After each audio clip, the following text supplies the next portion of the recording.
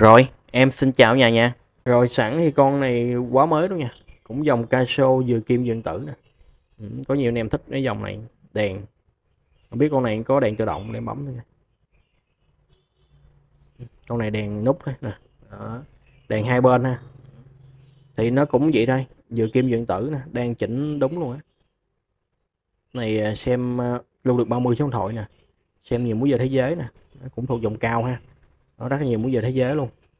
À, quay lại giờ bình thường. Này xem múi giờ thế giới này bấm bấm giờ thể thao bấm giờ điểm ngược. À, xét chỉnh kim báo thức này nọ ha.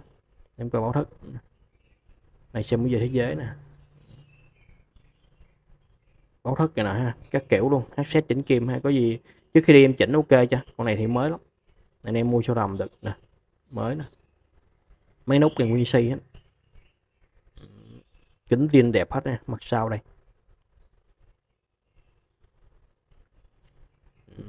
Thông số đủ con này mang mã là AQ nè 180 là sệt này ra nha sệt ra Google ra nó ha. Dây mặt trong nhà thấy chưa? Có vết gì để gọi là đeo hết. Đều là mòn hết nha.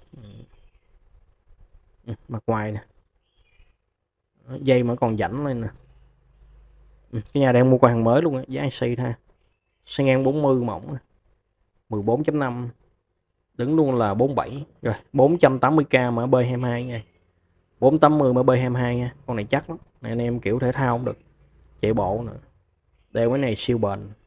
Mấy này nó hết pin thay pin thay nó pin thường nha. Có nhiều anh em ờ, ngại pin năng lượng chốt mấy đó nè pin thường. Bên em là vẫn là cọc chuyển khoản mới đi hẹn nha. Còn nếu tin tưởng em á, chuyển khoản bên em bao ship ha. Em xin chào nhà nha.